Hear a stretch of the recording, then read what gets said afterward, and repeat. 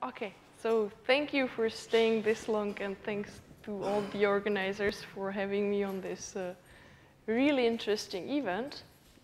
So I'll be talking about clustering in networks, phase transitions, and optimal algorithms.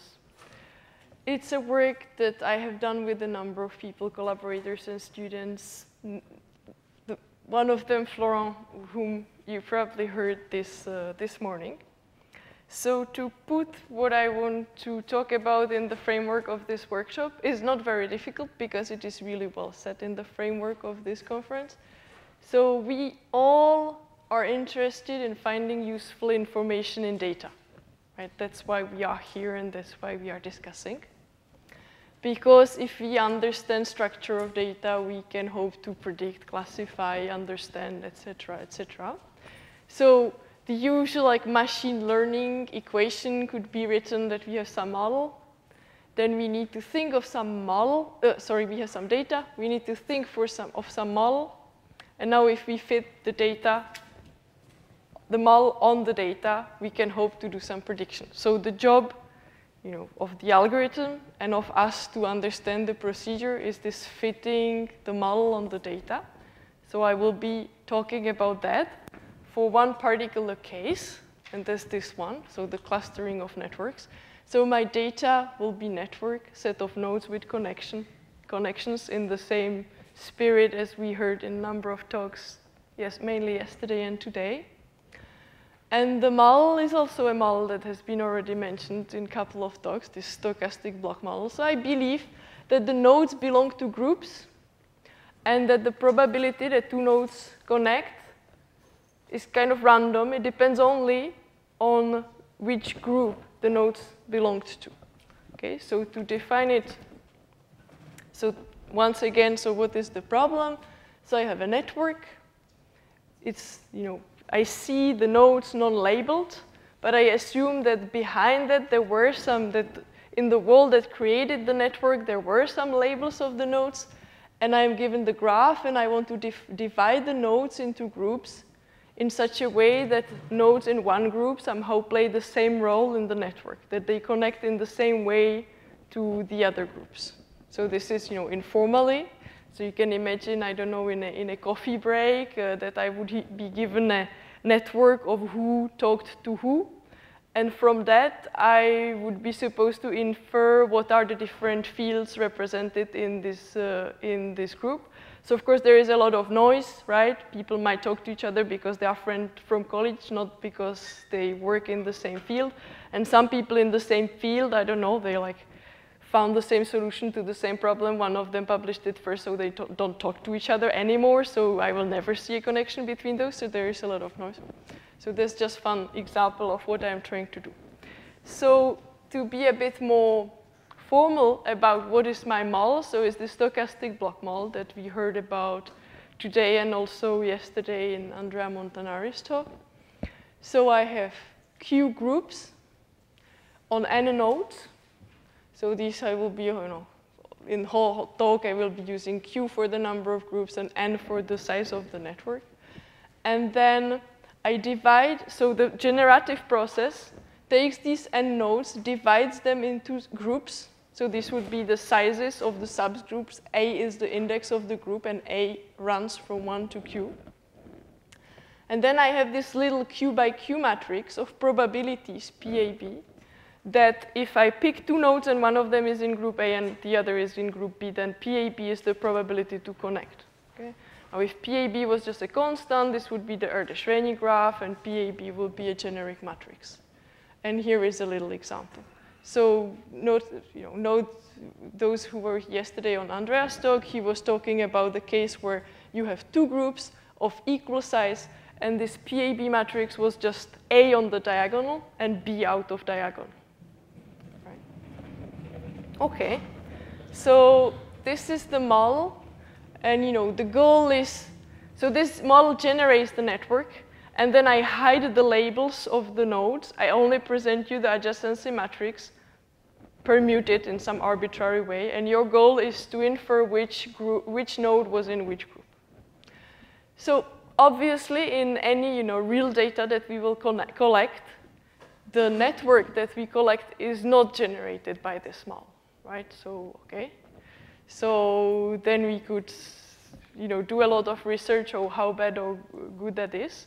But you know, in the point of view of mathematical sciences or understanding really what are our problems and what can we hope to achieve statistically, algorithmically, etc., it might be a good idea to first study the networks that are exactly generated by this model and see what's happening on those, okay? And at least understand well this, and then once we understand this well, we can end the baggage of the fact that the data are moreover not generated exactly by this model. And that's what uh, my talk today will be about. So I will be only talking, so I will have some real networks examples at the end, but all the like uh, claims and, and results will be about networks that were generated by this stochastic block model.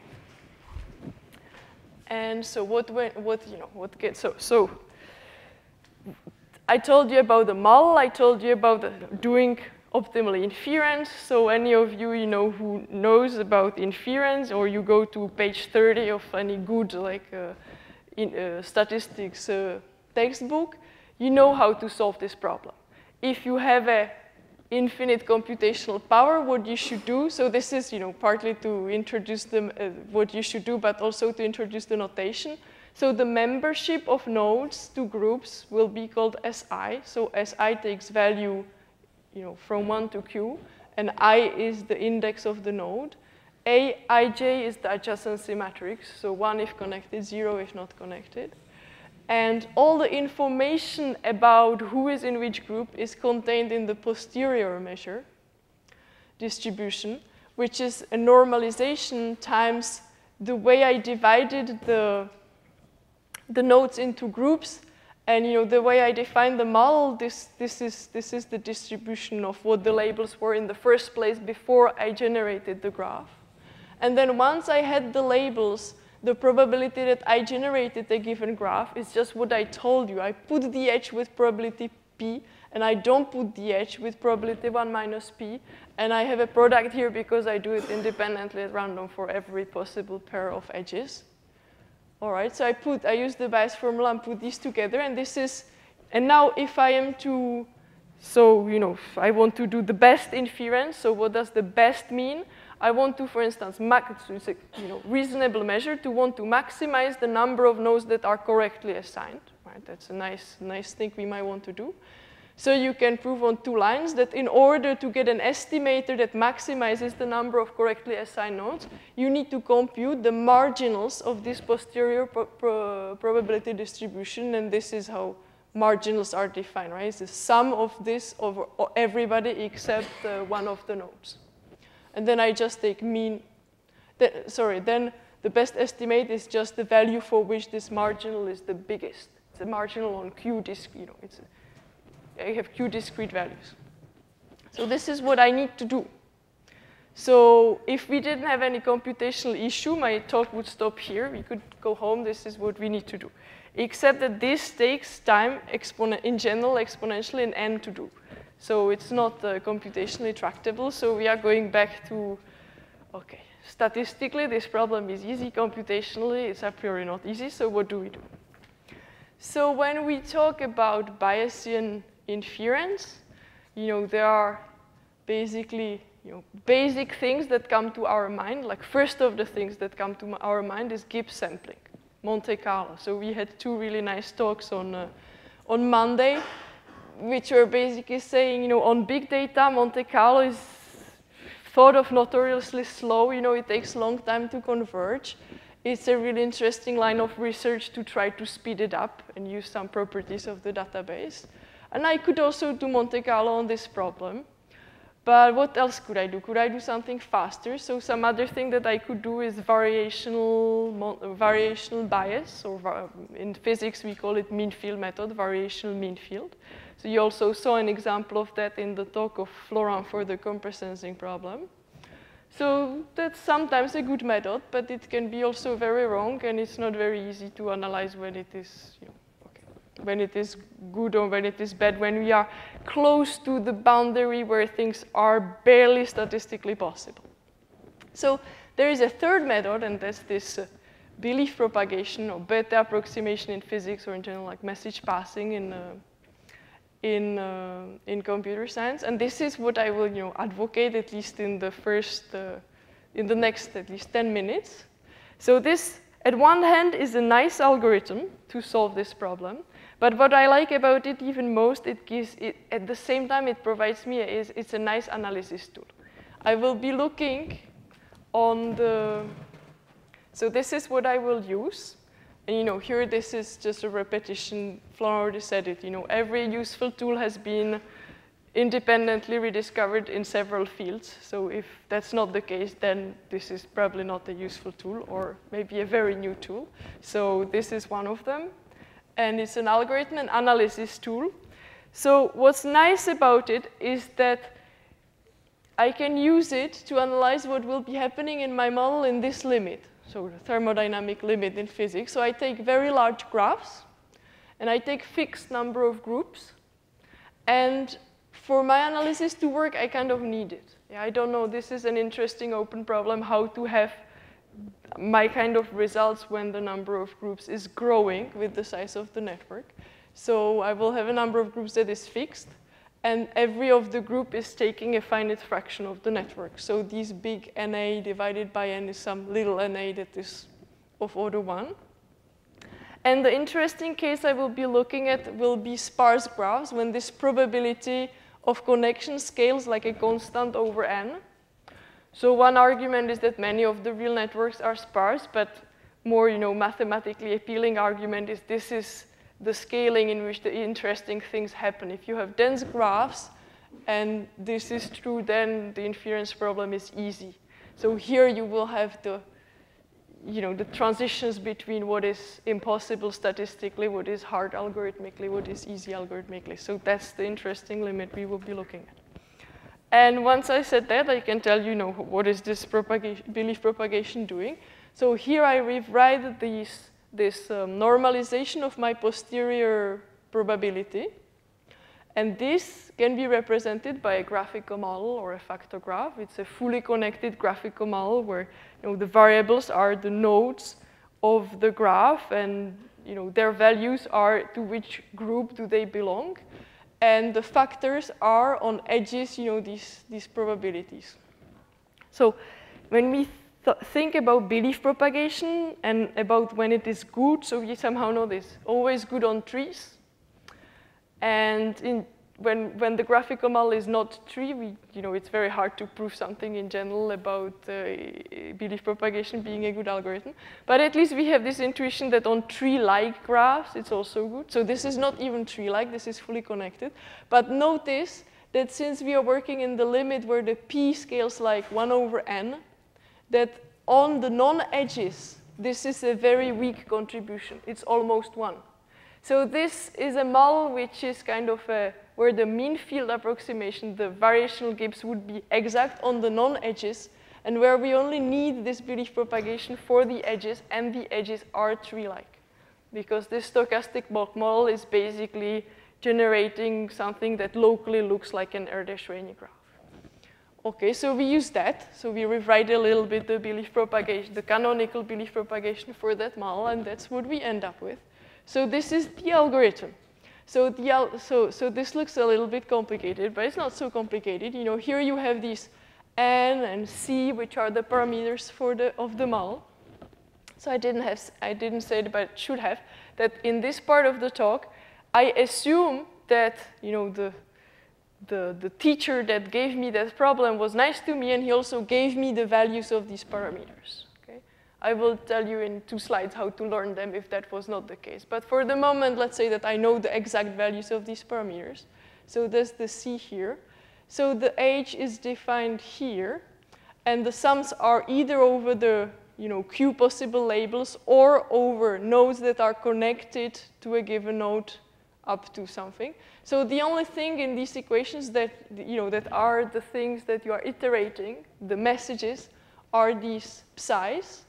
And it's, uh, you know, they have, for a mathematician, probably far too many indices. So these two indices, these upper indices, there's just to say these are messages. They are running on the edges. So on every edge, you have a message in one direction and message in another direction. So that's one thing. And there are Q component vectors. You know, they have Q components according to the value of this S. So this is what you need to, you know, code in your MATLAB or Julia or whatever. You need to iterate these equations. But this is not, you know, such a big deal. You can do it if you are a bit clever about some, some bookkeeping. You can do this uh, in time that is linear in the size of the network, linear in the average degree, and quadratic in the number of groups. So this is quite good. You can go to like tens of millions nodes, and it's not a big deal. So that's the like, it's, it's computationally tractable. And it also has this beautiful asymptotic property that when you estimate the marginals from the belief propagation and when you compare them to the exact, you know, Bayes optimal marginals that somebody gave to you because he had exponentially long time or exponentially many PhD students that could have computed it for him, then the BP marginals in the limit of large n and finite number of groups and sparse graphs are actually equal to the true ones up to some factor that goes to zero as n goes to infinity. So this is nice. So you use that. And now I, you know, now the thing is you can compute the marginals, but you can also use the fixed point of the equations on the previous slide to compute the Bethe estimate of this normalization of your posterior. So that's the likelihood. And you know that if you want to learn parameters or test hypotheses, that's the likelihood that is useful in Bayesian inference. So for instance, to learn the parameters, you have this normalization, this partition function in physics as a function of your, of your parameters. And to learn the, the most probable value of your parameters given the data, you just need to maximize this partition function. And if you write, you know, what is the derivative of this function, and you iteratively update this, you end up with equations that when you look at them, it's expectation maximization.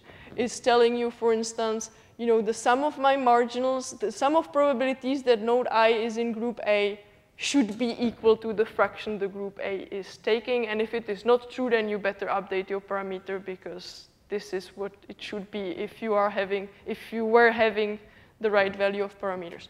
So, okay, and so you're looking for a maximum of a function that depends on a finite number of parameters. So this is computationally not a issue.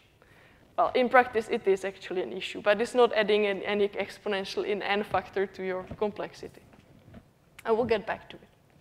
So, fine. So, so as an algorithm, it is clear. You have your graph, you run this, uh, you know, uh, belief propagation, you have your marginals, you compute your estimator, you can do things.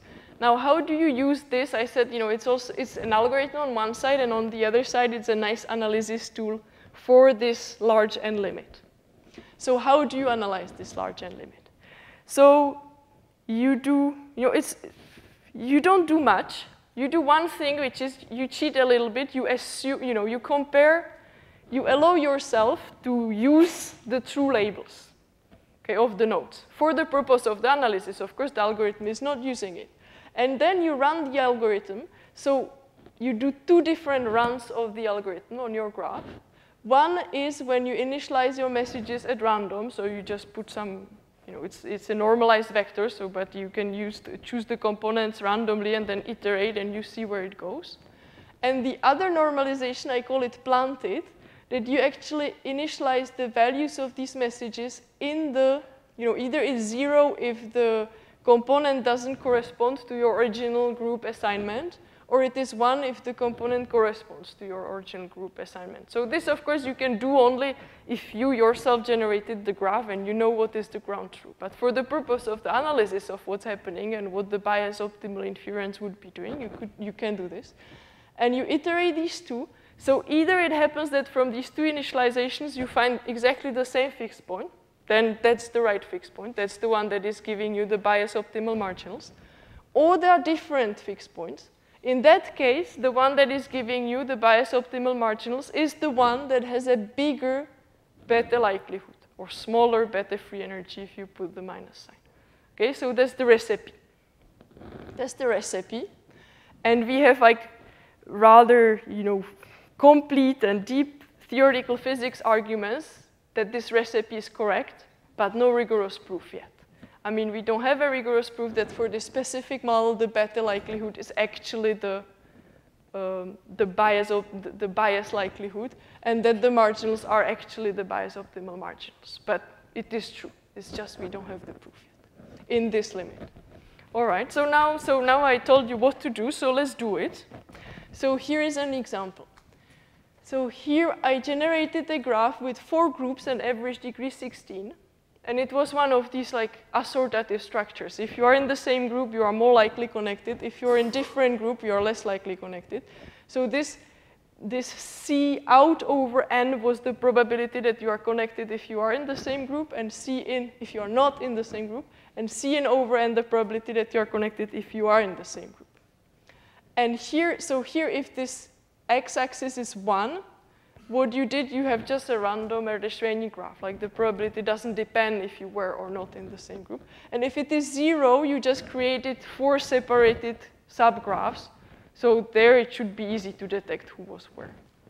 So, but, so now you see and okay, the y-axis is some kind of uh, performance. If it is one, you perfectly recovered everybody. And if it is zero, you just did as bad as you would do if you just randomly chose for everybody without knowing any graph whatsoever.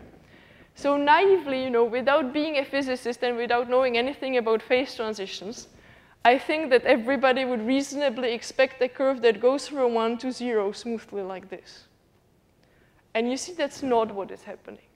Here, even if this epsilon is half, that means that I am twice as likely to connect to somebody in my group. So say that Mike is in my group, and I, you know, I don't know you, so you're not in my group. So I'm twice as likely to connect to him than to you, and I create a huge graph with average number of friends 16, which is reasonable number of average friends. There won't be any information in the graph whatsoever about who was in which group. And that really in the sense that I won't be able to distinguish that graph from a random Erdős-Rényi random graph. And you know, mathematically, that you know, it's not exactly the same ensemble in terms of the total variational distance, but it, you know, people call it, it's a contiguous ensemble. Like if I generate one graph from one and measure something on it, I cannot distinguish from a, Erdős-Rényi random graph. So this is, this is interesting that we have this region where even though in the real world there were communities, strong, rather strong ones, it, the inference problem is not possible to solve, information theoretically, whatsoever you do, because here we are doing the information theoretic thing. And then there is this threshold starting from which you are getting, you are getting some nice overlap. And now this threshold, I call it a weak it, it is a phase transition. And I, you know, in physics, we call phase transition something that is related to thermodynamical limit when the system is really large. And also, it's, it's, um, you know, it must be related to either what we would call critical slowing down, which in this case translates, if you look at the convergence time at the algorithm, or you could equivalently look at the equilibration time of the corresponding Monte Carlo, which here you, you could do. It would not be that slow. I mean, for this size of graphs, you could do it. You would see that the equilibration time diverges around that phase transition. So this critical slowing down is necessary. You know, if you, sometimes people just have some curve that is dropping down and call it a phase transition. So not every drop down is a phase transition. In physics, to have a phase transition, you need a thermodynamic limit and critical slowing down in case of a continuous second order, this is just a name, phase transition, or some metastability in case of a first order phase transition. I will, I will come to, to this. So this is what's happening here, and how do we locate this phase transition here? So, you know, BP is a good analysis tool, so that's what we do. So we realized that in that undetectable regime where we couldn't say anything, there was actually, it was because the, the, the associated fixed point of the belief propagation was just this. It was just telling us that a node, the, the probability for every node to be in every group is just the prior information. There is not more information than what the, you know, what the original group sizes were telling me. And this is a fixed point. And now I can, you know, and when I bump into the phase transition, I start to find a different fixed point. So what I can do is really simple. I just take this fixed point and, and I do linear stability analysis of this fixed point. So I have these iterative equations. I compute derivative of my me message to, with respect to the incoming message. This gives me some little matrix. And as I would do in dynamical systems, I just take the leading eigenvalue of that little matrix. And when it's squared times the average degree is bigger than, is smaller than one, then I am, you know, in the regime, in the undetectable regime, and when it is bigger than one, then I'm in the detectable regime. So this is a really easy way to compute the phase transition. And if you evaluate it for this special case of the stochastic block model where the probabilities to be connected is one number and probabilities not to be, to be connected if you are in the same group is one number, and if you are not in the same group is another number, this C in and C out, you are getting a really nice expression for the phase transition. And that's the same expression that appeared in Andrea's talk. He was having this a minus b divided by a plus b. So a plus b is just the average degree. a plus b divided by 2 is, so this is, this is generalization of his formula to the, to the generic uh, Q state um, stochastic block model. All right, so you have this phase transition, really easy to, to, you know, to compute from our, from our tools. But the way we did it was not rigorous. But now this is for, for two groups, this is now a fully rigorous statement that below the phase transition, these graphs are congruent to Erdős-Rényi random graphs, and above the phase transition, there are algorithms that get a positive correlation to the actual group assignment. And the detectable side is also proven for not only for two groups. The undetectable side is tricky for more than two groups, and you will understand right away why. So what happens? You know, second order phase transition, first order. So, okay, what happens? So another example. So before I had four groups, average degree 16, and the groups were assortative. Being in the same group, we were more likely friends. Now it's the other way around. Now I have five groups, and now if we are in the same groups, we are never connected. Just never ever. So now I only can connect to people that I don't know. People that are in the my group, I just don't connect to them, whatever, I don't know. We are competing for promotion, so I don't talk to you anymore. Or something like that. So this, you realize that it's a kind of, if you know about coloring problem, graph coloring problem, is a planted coloring problem. Like planted coloring is a special case of this stochastic block model? So now again, I do my, my game with the belief propagation algorithm with the two different initializations. Now I have a regime of parameters, and this is just the average degree. Now I have a regime of parameters where the two initializations do not yield the same fixed point. So what's happening here? I told you the one I should take is the one with, with the larger likelihood. So let me, in this figure, you know, I also have the difference of the likelihood. So you see that moreover, there is some third point in the middle where the likelihood crosses. And so what's happening here, actually, this is a first order phase transition. So we like to sketch it as a, you know, one would have somehow the likelihood function as a, as a function of this, like, how good am I doing? And the algorithm is always starting at zero here because at the beginning it doesn't do anything. This Q is like the overlap with the actual assignment. So at the beginning I don't know anything about the actual assignment, so I start here. And I'm going down in the function. And either I am stuck at a local, at the local uh, optima or not.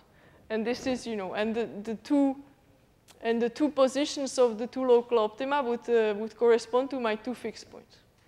So this is what is happening here. So if I go back to this picture, so this picture is a picture of a first order phase transition in physics. So that would be really the phase transition between, you know, when, when water freezes. So what, you know, so this regime would be the liquid, this would be the ice, this would be the first, uh, the phase transition itself, and this, in, in, this region around the phase transition where I have these two different fixed points, that would be the metastability. If you were at Florent's talk, there's the supercooled liquid. So there's the liquid at minus five degrees Celsius, or the ice at plus, uh, I don't know, two degrees Celsius, okay? So now you see in physics, these are not really so, in physics, physics lives in finite dimension embedded in finite dimensional Euclidean space, and nucleation always happens. That's the little experiment that Florent was doing. in these graphs that cannot be embedded in finite dimensional Euclidean space, these, this metastability means that you know either something is exponential in the size of the system uh, or you don't know what to do. So, so that's what it is, and we somehow, you know, so this, so what is happening now algorithmically? So it's undetectable information theoretically for degree, you know, the larger degree, the more information you have here, up to this CC transition. But in this region up to this CS, so the spinodal transition, we don't know what to do algorithmically. This algorithm doesn't work. Monte Carlo wouldn't work. We actually believe that nothing would work, so that's the next slide. And starting from the spinodal, the belief propagation is working. Monte Carlo would be working. So that's the easy phase. This is the possible but hard phase. So, you know, now there is the usual story. Like this is a, you know, boundary for the belief propagation for the algorithm you are analyzing. Fine, so maybe another algorithm can do better. And that's, you know, that's, I would like to claim here that no. And it's in the same class of problems as, you know, the planted clique problem that Andrea was talking about. And, you know, likely the tensor factorization that, uh, or completion of factorization as well, that we also heard about today. And so what could we say about this, uh, this phase transition? So physically, this algorithmic barrier is a spinodal line of a first order phase transition. And it has like profound physical meanings in, uh, in, in condensed matter theory. And it's an algorithmic barrier, the same origin.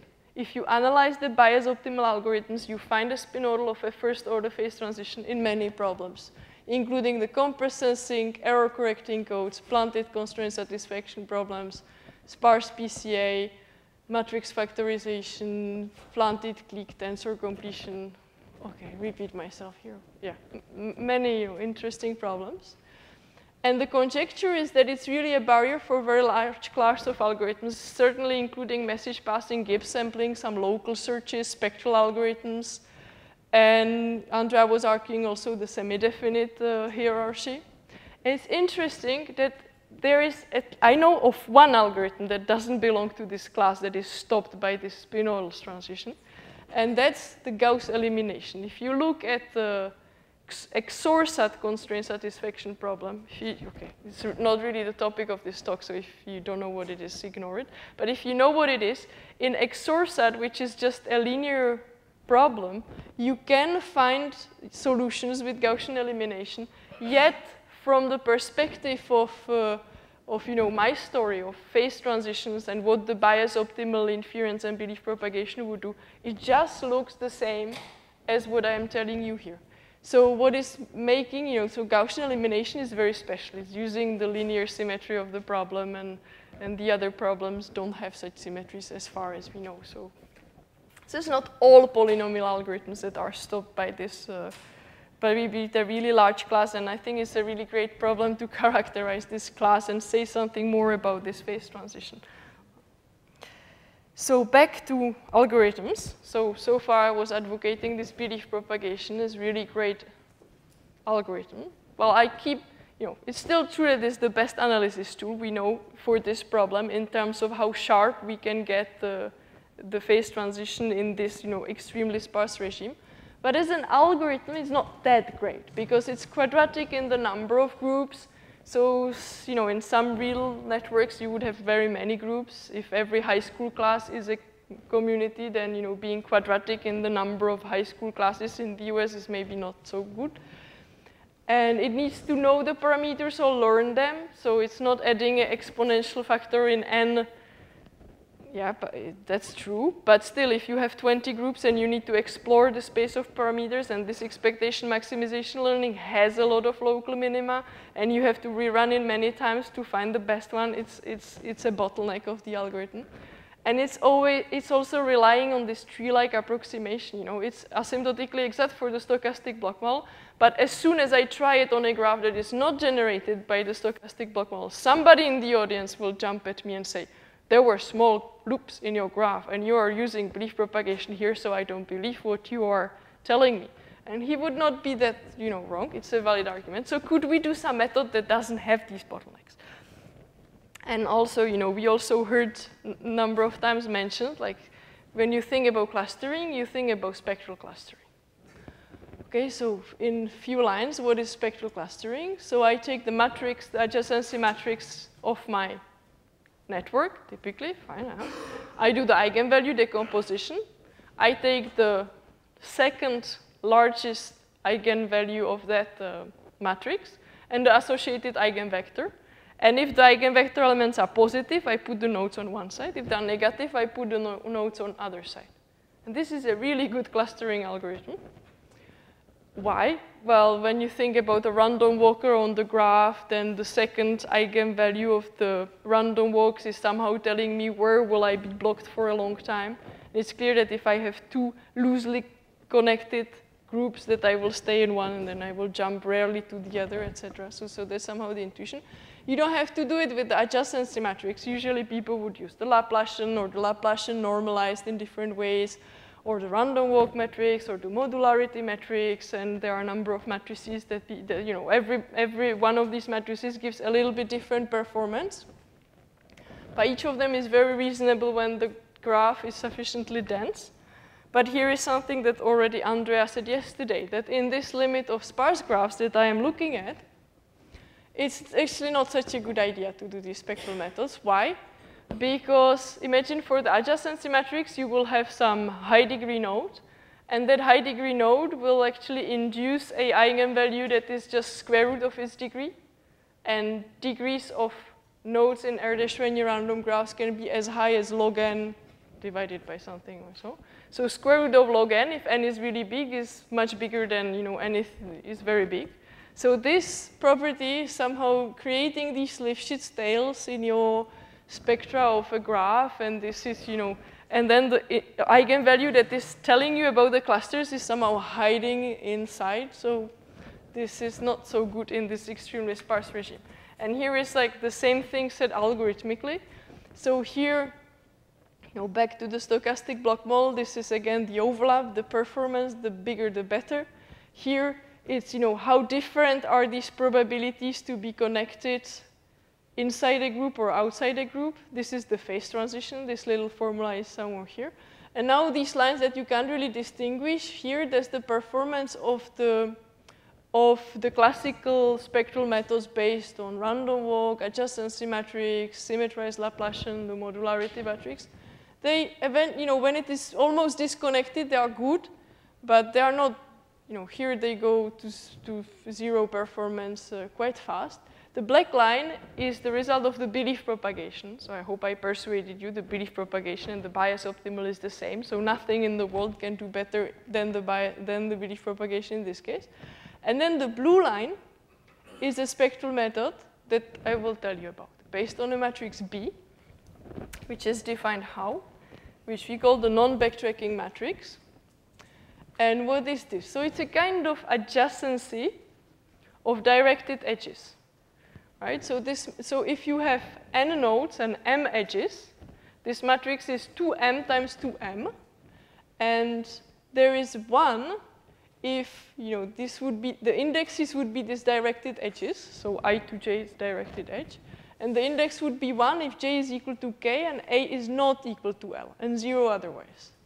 So another way you can think about this matrix, like you write the simplest possible message passing you can think about, and that is, that is defining this non-backtracking matrix. Right? You are going, you're following your um, directed edges, but you're never going back. That's why non-backtracking. That's in the definition. So this is sometimes called in math, in math literature Hashimoto edge adjacency operator or matrix. It's used in a number of papers. I listed here some for as, a, as a analysis tools. Like when you want to prove something, I don't know, mixing times of non-backtracking random walks. I mean, this is really useful thing to do. But before our paper, it was never used like as a basis for an algorithm. So let's do it. Let's take this matrix and let's compute its spectra and take the corresponding eigenvector and do spectral clustering with it. So that's what we do. And how is it, you know, how, how did we even came up with that? And how is it connected to my belief propagation and all that?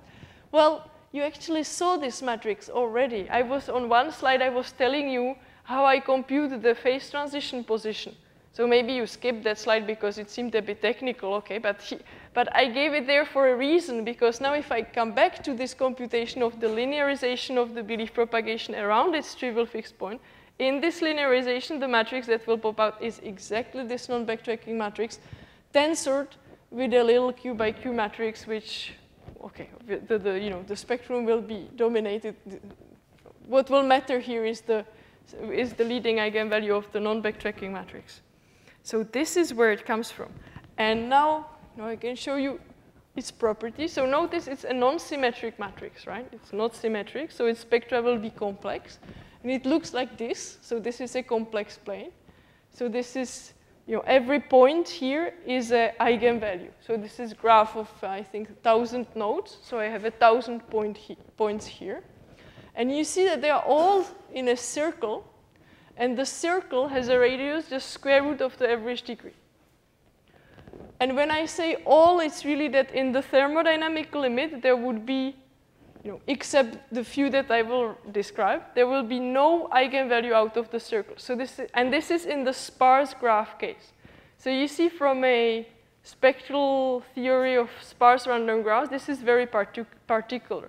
Because I bet that, unless you heard about this matrix, all the matrices you heard about have these Lifshitz tails on, that means eigenvalues that are really, really large when the size of the graph is large on sparse graphs, not this one. So this is what makes it special and you know so nice for, for things where you need a spectral gap to find some information that was hidden in the structure of the graph. And then there is one eigenvalue, which is just the average degree, so that one you can understand it easy why it is there. And then, you know, if, there was, if that was a random graph, that's it. And if there were groups, you know, if that graph was created with the stochastic block model, then on the real axis you will have some q minus one more eigenvalues with positions that are related to the, that are just the average degree times eigenvalues of this little q by q matrix that I already showed twice in the talk uh, by now. So, okay, why exactly that? You would have to think about it. But it's really, really simple. And now if I and okay, so, so this is something that, that we computed, but now this, these properties, that's for the graphs generated by the stochastic block model, that's fully rigorous. And in this paper, there are beautiful results about the spectral properties and this, you know, the, you know, they're suggesting basically that this, that the spectra of this matrix could be the analog of Ramanujan property for sparse graphs and, and non-regular, sparse non-regular graphs and things like that. So this is a really nice paper mathematically. And here I'm just comparing, this is the same graph. This is the histogram of the spectrum of the adjacency matrix. And here is nothing going out that you could say is the informative eigenvalue. Whereas here, the informative eigenvalue is clearly, you know, it's real and it's clearly out of the circle and there is nothing else close by with which you could confuse it. So this is our spectral redemption thing. And here you have a little picture where I took five groups and so I will run it again. I will describe what it is. So this is just the you know, piece of the spectra. At the beginning, I just took four, five separated groups. And then I was just taking edge inside the groups and putting them in between. And I was doing that edge by edge. And I don't remember how many edges I replot, uh, I replot my spectrum. So I'm like a smoothly making the graph, you know, harder and harder for the inference problem. And you see what is, what is happening with the spectrum here. So at the beginning, these five guys there are, well, this is a small graph, so they are not exactly degenerate. In the limit of large size, they would be degenerate because these are just five disconnected pieces. And then as I'm connecting the pieces, they are going towards the circle. And as I approach the phase transition, they jump into the circle and I don't see them anymore. And here I can't detect anything anymore. So here I cross the detectability phase transition. And I see that I should be finishing. So here just to say that, you know, even on real graphs, quantitatively the spectra look as I described. So these are not at all graphs generated by the stochastic block model. But you somehow see there is the largest one and square root of the largest one. You draw a circle and it looks like the complex ones are inside and you know, things are clearly either outside or inside the circle, and that would be telling you the number of groups. And when I was telling you about learning parameters, I didn't tell you how to learn the number of groups. So this is how you decide the number of groups in your network. Um, I, I will skip this. And this is just a slide to say, you know, we suggested this method now maybe two years ago. And before it was like this tool proofs and algorithmically nothing. And this is some algorithmic works that we did using this matrix since. So you can use it also for you know, matrix completion, estimation in sparse hypergraphs, which is related to planted random CSP tensor factorization, in planted Ising model, which is called sensor block model in some information theory literature. You can use it to calculate thresholds of percolation, epidemic spreading, all this on these very sparse graphs, and you're getting sharper and better results than from the traditional spectral methods. So that's just, if you're interested in any of those, ask me. And that's my last slide. So you know, to summarize, what, what did I tell you? Told you about the Bayes optimal inference in the stochastic block model, about the belief propagation being a really nice analysis tool, and about you know, analyzing properly what is possible algorithmically, statistically, in a very simple model, how it helps you. You know, we had this linearization of the belief propagation, and when we looked at it as an algorithm, it occurred to us that this is a really nice spectral algorithm that could be used for other problems where maybe we don't have this nice motivation, but when it is working, nevertheless, uh, empirically as well. So that's all. Thank you.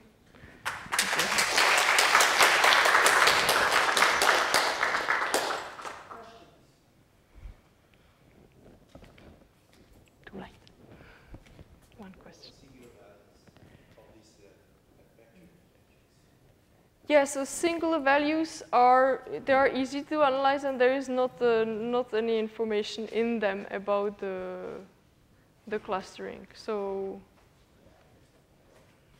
yeah, I don't remember now what they are, but yeah, it's easy to figure out what they are actually. No, no, it's, uh, it's not at all